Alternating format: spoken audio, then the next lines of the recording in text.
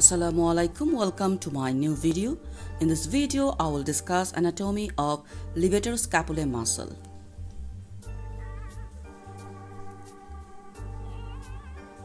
Levator scapulae muscle is a posterior axioappendicular muscle that connects the upper limb to the vertebral column and lies in the posterior triangle of neck.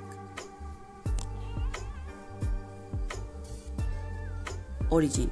Levator scapulae muscle is originated from posterior tubercles of transverse processes of cervical 1 to cervical 4 vertebra. Insertion Levator scapulae muscle is inserted into superior part of medial border of scapula.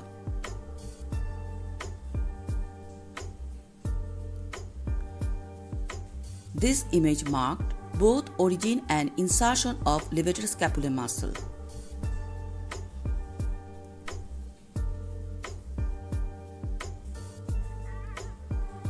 Action Levator scapular muscle elevates scapula and tilts glenoid inferiorly by rotating scapula.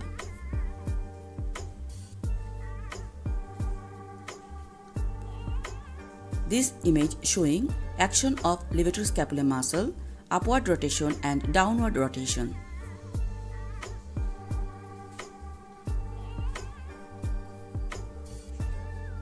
This is another image of levator scapular muscle that is marked origin, insertion and action of levator scapular muscle.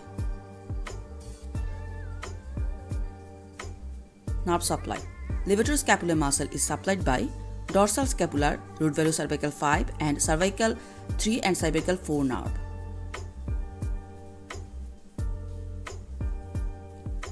Blood supply. Levator scapular muscle is supplied by dorsal scapular artery.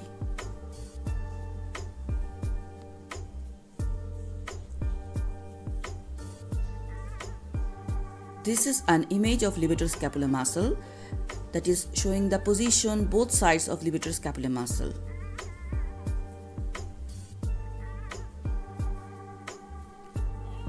This is also an image of levator scapular muscle that's mark uh, levator scapular muscle and surrounding structures.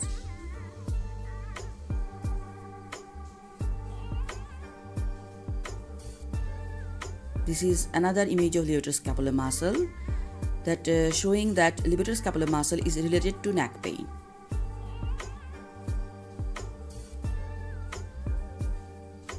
Thank you very much everyone. Please subscribe and share my channel. Thank you.